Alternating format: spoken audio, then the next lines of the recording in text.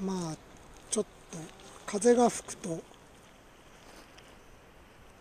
煽られますが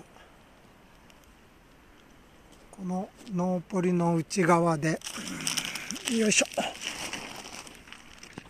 サニーレタスがこれ発芽してきてますね。これがサニーレタスの芽ですね。かなり早いですね。これもあれですね地上に芽が出かかってる感じですね。先週の土曜日に種まきしたんであのまだ1週間経ってないんですけども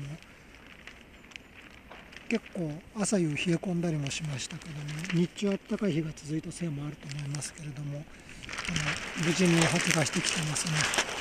まああのこうやって風が吹くとノーポレが結構煽られたりもしますけれども無事にサニーレタスが発芽して